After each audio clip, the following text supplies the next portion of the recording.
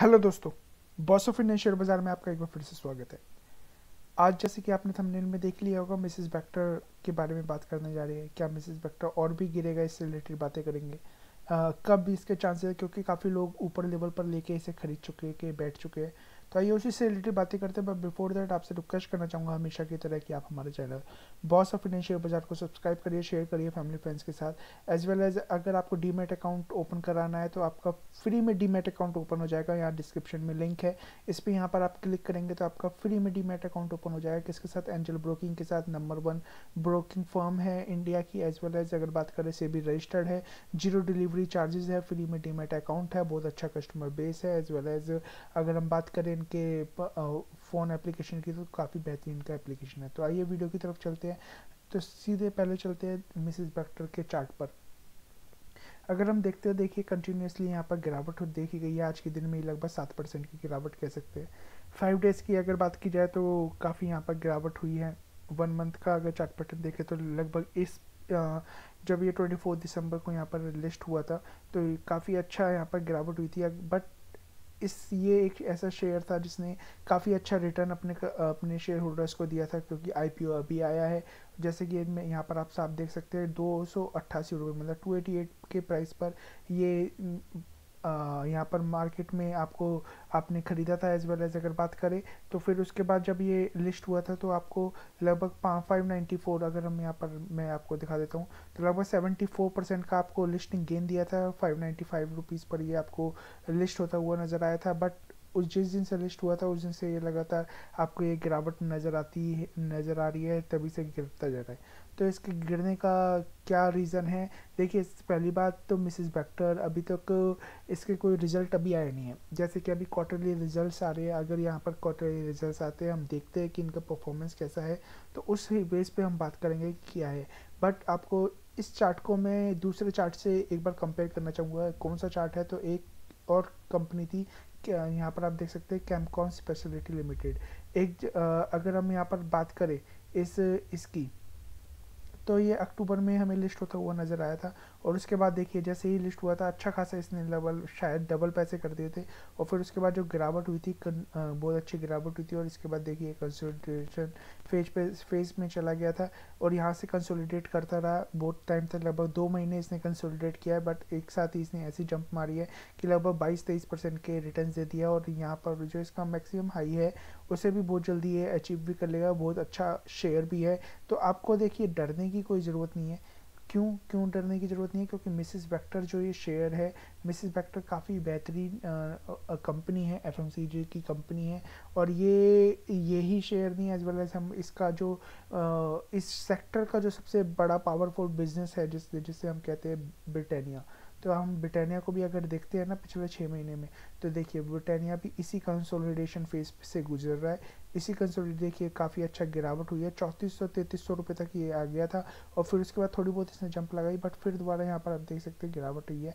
But ये काफ़ी पुरानी कंपनी है तो हम इसे जानते हैं कि किस तरीके की कंपनी है। इस पर हम भरोसा कर सकते हैं, चार हज़ार रुपये तक ये गया था। फिर उसके बाद देखिए, अभी भी यहाँ पर पैंतीस सौ रुपये के आसपास से चल रहा है, दस परसेंट की अभी भी यहाँ पर गिरावट आपको साफ़ नज़र आ रही है।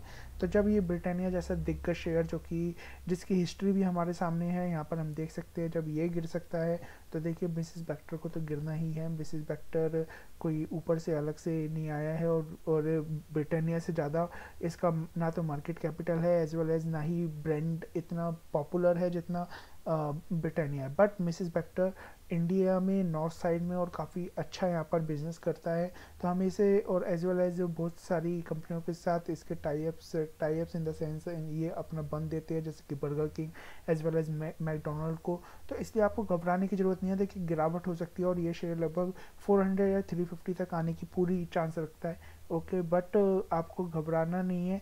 ओके okay, आप ये शेयर अगर जिसने यहाँ पर छः छः सौ रुपये पे आपने ख़रीदा है क्योंकि होते हैं रेस को जब हम रेस को पकड़ते हैं ना जब किसी रेस में भागते हैं तो ऑब्वियस सी बात है यहाँ पर गिरने ट्रैप होने के चांसेस बहुत रहते हैं। तो यहाँ पर लोगों ने काफ़ी ख़रीदा होगा काफ़ी लोग फंसे होंगे तो मैं बताना चाहता हूँ कि ये टाइम लगाएगा, बहुत शायद एक साल भी लगा सकता है इसमें आने पर और शायद दो महीने बाद ही इसी लेवल पर आ जाए। तो इसलिए आप थोड़ा सा ध्यान देना और थोड़ी बहुत गिरावट और भी हो सकती है क्योंकि हमने कैमकॉन में भी यहाँ पर देखा था। लगभग यहाँ पर एक अक्टूबर को आया था और लगातार 20-25 दिन गिरा था और फिर इसके बाद एक लंबे दो महीने के कंसोलिडेशन फ़ेज़ पे गया और फिर उसके बाद एक साथ भाग आए। तो इसी तरीके से मिसिस बैक्टर भी आपको इस तरीके के रिटर्न्स दे सकता है। अगर बात की जाए एनएससी हम यहाँ पर देखते हैं, कितनी डिलीवरीज तो लगभग ग्यारह ग्यारह लाख उनतीस हज़ार एक सौ छियासठ शेयर मतलब चालीस परसेंट की डिलीवरीज हमें उठाती हुई दिखाई दी है। आज के दिन लगभग इसका फिफ्टी टू वीक लो है और अट्ठाईस दिसंबर को इसका फिफ्टी टू वीक हाई था जब ये यहाँ पर लिस्ट होता हुआ हमें नज़र आया था छः सौ चौबीस रुपये का।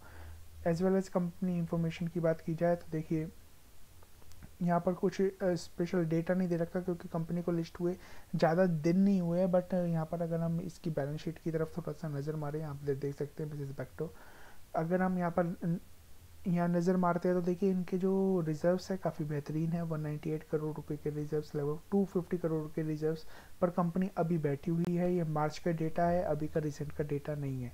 ये मार्च जो 2020 का डेटा है, अगर लॉन्ग टर्म बोरिंग की बात करें तो लगभग 87 करोड़ रुपीज़ की यहाँ लॉन्ग टर्म बोरिंग दिखा रहा है। शॉर्ट टर्म बोरिंग की लगभग 90 करोड़ रुपीज़ के 20 करोड़ रुपीज़ के यहाँ पर आपको शॉर्ट टर्म बोरिंग दिखा रहा है। अगर हम बात करें कैश एंड कैश इक्वलेंट तो लगभग पच्चीस छब्बीस करोड़ रुपये का इनके पास कैश एंड कैश इक्वलेंट पे अभी बैठे हुए हैं।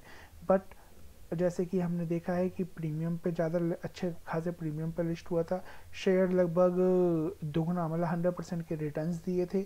और जैसे कि इनके पीयर्स कंपनी है, जैसे कि ब्रिटानिया, आज के दिन जहाँ पर मार्केट ऑल टाइम हाई आज दोबारा लगाया था, वहाँ पर गिरी हुई है, ब्रिटानिया तक गिरी हुई है। ओके कैमकॉम का यहाँ पर ये शेयर गिरा हुआ है तो मिसिस बैक्टर को भी गिरना लाजमी था, क्योंकि अभी कंपनी आई है, अच्छे खासे रिटर्न दी है, शायद एक आध महीने के कंसोलिडेशन फ़ेज़ पे दोबारा जा सकती है, और थोड़ी बहुत गिरावट और गहरा सकती है तो इसलिए डरने की ज़रूरत नहीं है बट अच्छा शेयर है एफएमसीजी का शेयर है एफ़ के शेयर मोस्टली कारगर ही साबित होते हैं एफ़ एम डूबता हुआ हमें नज़र नहीं आता, जैसे कि हमने दूसरे शेयर देखे हैं आईटीसी को छोड़कर बट आईटीसी भी धीरे धीरे भाग रहा है तो इसलिए इसकी तरफ़ नज़र आपने अगर हाई लेवल पर ख़रीदा है तो शायद आपको उस लेवल पर थोड़ा टाइम वेट करना पड़ सकता है, उस लेवल पर बट आ जाएगा। और इसके एक बार रिजल्ट्स आ जाएँगे तो और अच्छी से हम उस पर राय दे पाएँगे तो रिजल्ट्स का भी इसका वेट है।